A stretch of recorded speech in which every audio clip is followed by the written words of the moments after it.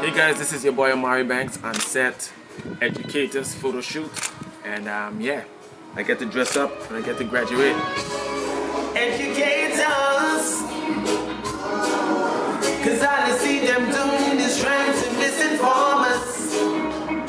That's from the government down to the church and social media.